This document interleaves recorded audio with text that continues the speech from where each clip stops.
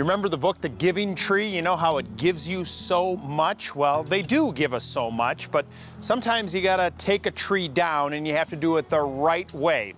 Well, we're here on a project with the Bartlett Tree experts, and we're gonna be joined by Dave Story, who's a certified arborist with Bartlett, to show us exactly what the problem with this particular tree is and how to take it down safely. Let's go around back.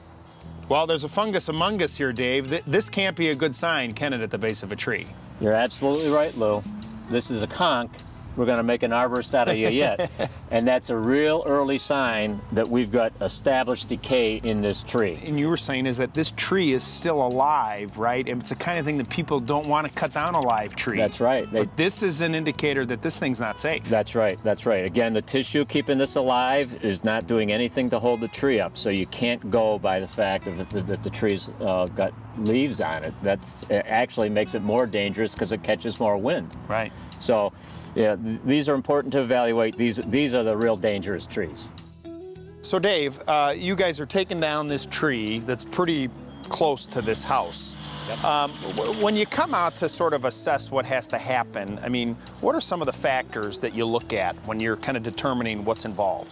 Well, when I, Lou, when I'm on a property, uh, we kind of have a triage. Uh, the first thing I'm looking at is safety. Right. You know, safety is always our first concern, so I'm going to evaluate all the trees for safety. Right. Uh, secondly, we'd be interested in, in uh, tree preservation, tree health. Lastly, aesthetics. Uh, we want things to look good. Right. In general, they're going to start in the top. They're going to piece it out in pieces that are small enough and light enough so that they can uh, avoid any damage, uh, not overload the rope. And that's that's their call as far as however big the branch is, I need to, well, you know what, from their experience, this needs to be three feet, or, or I could take this thing down That's right. right at that joint or that knuckle where That's it's coming right. off, right? Because they know it's going to swing. Right. You know, we got to allow for it to swing.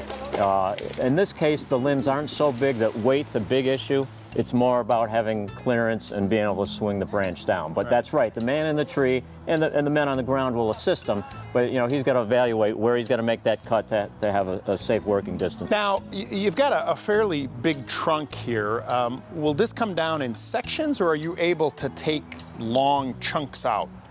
We will, uh, in this case, it's probably going to be easier to get it down. We'll take it down to, to the first crotch. So we're going to have about uh, uh, maybe a 10 foot uh, stem left. And when we get it down to that point, uh, we'll put a tag line on it. We'll have a landing pad down here and uh, we'll make that bottom cut and uh, drop it right onto the landing pad. as always, stumps are never in the front yard. Never. Never by the driveway. So um, we've got to get through a three foot gate for this. Um, We've got, uh, this is a powerful machine. You know, we want to be able to grind uh, sometimes 24 inches deep. Um, so you need a powerful machine. That means a lot of weight, which is less stability. So we want good width in our, in our we've got a tandem axle on this.